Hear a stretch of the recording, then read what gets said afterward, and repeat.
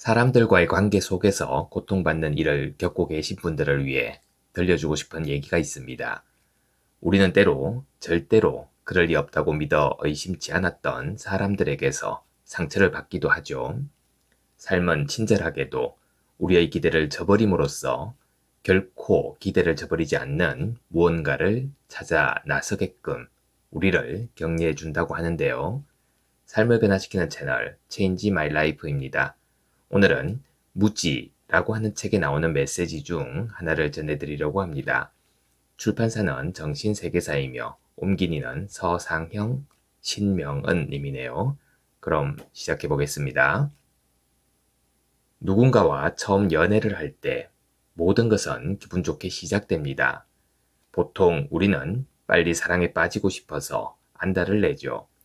그러다가 결국 서로 잘 안 맞는 점이 드러나면 스스로에게 묻고는 합니다. 우리가 서로를 짜증나게 하는 점들을 뜯어 고치지 않고서도 계속 함께 할 수 있을까? 이 성격 차이를 견뎌낼 만큼 나는 과연 그 사람을 사랑하고 있나? 어떤 관계는 고작 몇 주, 몇 달 혹은 몇 년간만 지속되고 맙니다. 반면에 또 어떤 관계는 우리가 이 세상을 떠날 때까지 계속될 겁니다. 그렇다면 관계가 오래 갈지 말지를 결정하는 것은 무엇일까요? 그저 얼마나 참을성이 있고 관대해질 수 있는지의 문제일까요? 아니면 성격적 궁합일까요? 어떤 의미에서 보면 상대방에게서 신을 보고 자신이 진정 누구인지 계속 알아내는 것 외에 우리가 할 수 있는 일은 아무것도 없습니다. 이따금 저는 관계에 필사적으로 매달리는 분들을 만나게 됩니다. 그분들은 금전적으로 의존하고 있기 때문에 외로움을 피하고 싶기 때문에 혹은 자식을 위한다 라는 이유로 그렇게 하지요. 그러나 서로 화를 불같이 낸다거나 아예 없는 사람 취급이나 해대는 그런 사랑 없는 관계 속에 머무는 것이 과연 그렇게 숭고한 일일까요? 세계 각지의 사람들은 흔히 그런 상황에 직면했을 때 체념하고 자신의 삶을 희생하려 듭니다. 그러나 진리는 그러한 희생의 대상이 되어서는 안 되는 겁니다. 대부분의 경우 사람들은 관계 속에서 계속 진실할 수 없었기에 결국 고통스러운 선택과 마주하게 되죠. 서로가 관계 속에서 발생하는 어려움을 자기 안의 부정적 경향과 충동을 극복하는 계기로 삼고 그 결과 자신의 진정한 본성을 더 깊이 이해하게 될 때에야 비로소 그 관계는 진리에 불이 내리게 됩니다. 이별을 겪고 있는 동안 우리는 죄책감과 향수에 젖어 뒤를 돌아보게 될지 모릅니다. 과거를 선택적으로 기억하게 될 수도 있죠. 내가 뭔가 다르게 행동했다면 하고 후회할 수도 있습니다. 그러나 영적 성장의 그 단계에서 우리는 그렇게 할 수밖에 없었습니다. 삶이 그저 그렇게 펼쳐졌을 뿐인 겁니다. 그러니 자책하지 마세요. 자신을 나무라고 죄책감마저 느끼는 것은 개인, 즉 우리가 자신에 대해 가지고 있는 이미지에 속한 성향일 뿐인 겁니다. 진정한 우리는 그런 것과는 무관하죠. 저는 종종 이렇게 말하곤 합니다. 우리가 자기 자신에 대해 갖고 있는 관념이 다시 그 자신에 대해 갖고 있는 다른 관념들로부터 고통받고 있다고 말이죠. 그러니 지난 일에 괴로워하는데 더 이상 에너지를 낭비하지도 말고 앞으로 삶이 어떻게 펼쳐질지 추측하려 들지도 마시기 바랍니다. 그저 가슴의 고통을 참자에게 내맡기고 이렇게 말씀하세요. 저 아픕니다. 무엇을 해야 할지 모르겠습니다. 그렇지만 무작정 기다리거나 몽상에 잠겨 시간과 에너지를 낭비하고 싶진 않습니다. 저 자신을 당신의 품 안에 맡깁니다. 제가 달리 무엇을 할 수 있겠습니까? 당신 앞에 저를 내려놓습니다. 우리는 참자라는 우리의 고향으로 돌아와야 합니다. 가슴으로부터 살아야 합니다. 그러면 눈이 맑아져서 신의 눈을 통해 삶을 바라보게 될 겁니다. 진리는 누군가를 편애하지 않죠. 진리는 보편적입니다. 처음에는 끔찍하게 느껴지는 반응이 안에서 일어날지도 모르지만 이것은 모두 허상을 씻어내는 과정의 하나일 뿐인 겁니다. 마음과 에너지를 진리를 깨닫는데 계속 집중하세요. 삶에서 어려움에 처했을 때 우리에게 주어진 가장 큰 기회는 그 강렬한 경험을 이용하여 고통받는 그 사람이 누군지를 살펴보는 데 있습니다. 그 경험이 무엇이든 간에 가장 큰 타격을 받고 있는 그 사람은 대체 누구일까요? 이것은 냉소적인 접근법이 아니며 삶을 회피하는 태도도 아닙니다. 주의를 되돌려 가장 고통이 심한 중심에 초점을 맞춤으로써 우리는 진정한 힘을 되찾는 것이죠. 늘 우리와 함께하는 그 힘 말입니다.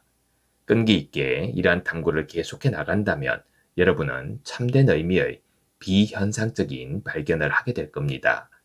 즉, 고통받는 존재인 나를 찾을 수 없다는 사실을 알아차리게 될 겁니다.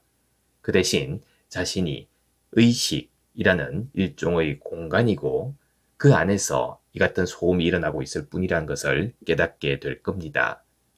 우리의 존재 그 자체인 의식은 그 소음에 관여하지도 않고 그 소음에 시달리지도 않죠. 이런 진리를 발견하게 되다니 이 얼마나 자유로운 일인가요? 여러분은 이 삶을 자신 안에 내재하는 참된 자유를 찾는 데 바쳤습니다.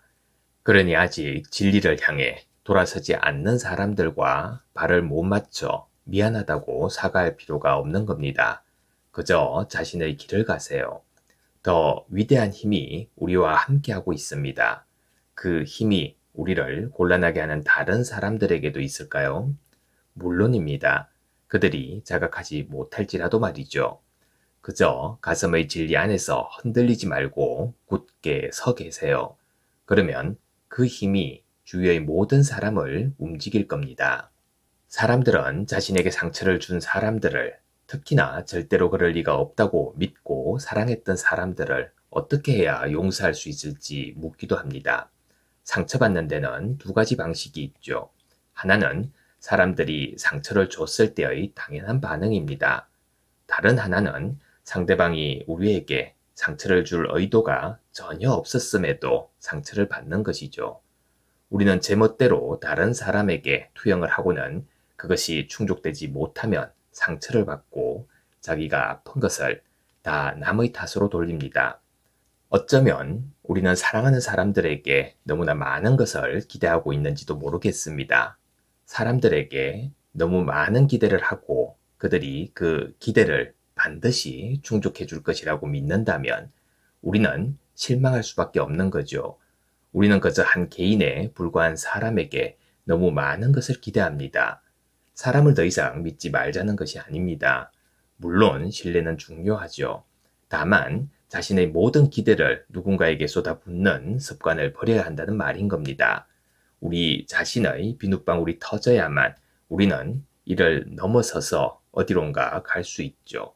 그래서 삶은 친절하게도 이런저런 방식으로 우리의 기대를 저버림으로써 결코 기대를 저버리지 않는 무언가를 찾아 나서게끔 우리를 격려해 주는 겁니다. 하지만 그 무언가조차 아무 기대 없이 찾으셔야 합니다. 어떻게 해야 사람들을 용서할 수 있을까요? 참자를 깨달음으로써 그렇게 할 수 있습니다. 일단 참자를 깨닫고 나면 이 모든 것을 너그럽게 봐줄 수 있습니다. 다 별것 아닌 일이 되죠. 더 이상 누구에게도 아무것도 기대하지 않게 됩니다. 기대하지 않을 때 사랑하는 사람들을 용서하기가 얼마나 쉬운지 아시나요? 사실 다른 사람에게 뭘 그리 많이 원할 수 있을까요? 절대로 그럴 리 없다고 믿어 의심치 않았던 사람들에게서 상처를 받기도 하는 것이 인생입니다. 그럴지라도 왜 나만 가지고 이러는데 라고 하지 마시기 바랍니다. 좀 더 가벼운 마음으로 살아가도 괜찮습니다. 그저 더 이상 다른 사람에게 기대지 않아도 되는 자리, 자신의 참자 속으로 깊이 침잠할 수 있는 그 자리를 찾아보세요.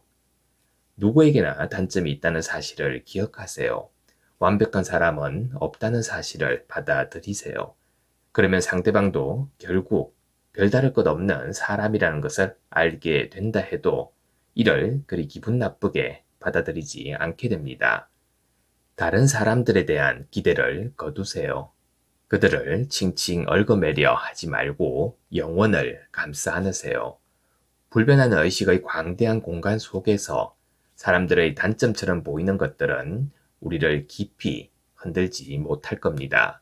우리는 사실 그것들이 아예 존재하지도 않는다는 것을 알게 될 겁니다. 우리의 고향인 진리로 돌아오세요.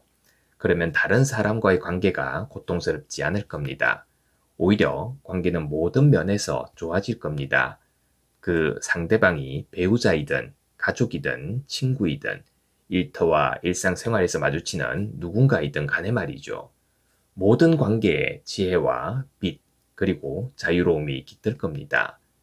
많은 사람들은 텅 비어 있는 심리적 공허가 아니라 실제로 텅 비어 있는 누군가의 곁에 있다고 느낄 때 자기 자신을 활짝 엽니다. 우리는 그러한 순수한 무심의 상태 속에서 진정한 텅 빔을 느낍니다. 또한 그 아름다운 중립성의 상태에 사람들은 매우 강하게 끌리게 되죠. 비어있는 사람은 거의 없기 때문입니다. 모든 사람들이 다 꽉 차 있습니다. 우리의 삶은 숨이 턱 막힐 만큼 잡동사니로 가득 차 있습니다. 지켜야 하는 약속들, 잊지 말고 꼭 해야 하는 모든 일들, 수많은 스트레스거리들에 둘러싸여 옴짝달싹 못할 지경입니다. 그래서 저는 이런 조언을 드리고자 합니다. 관계를 진리와 따로 분리시키지 마세요. 그렇지 않으면 관계란 단지 익숙한 사람들과 함께 무덤으로 터벅터벅 걸어가는 것과 다름없습니다. 그냥 누군가와 관계를 맺기만 하지 마세요. 남성과 여성, 너와 나, 타장과 죄인. 살아있는 관계는 이렇지 않습니다. 오히려 진리 안에 있는 관계는 의식인 우리에게 본보기가 되어 우리가 본향으로 돌아가 진리를 발견할 수 있도록 도와주죠. 상대방이 가족이든 연인이든 동료이든 간에 오래 계속되거나 치열한 모든 관계는 거짓된 것을 드러내줍니다. 그러니 이러한 관계들이 무엇을 보여주든 그것을 잘 살펴보세요.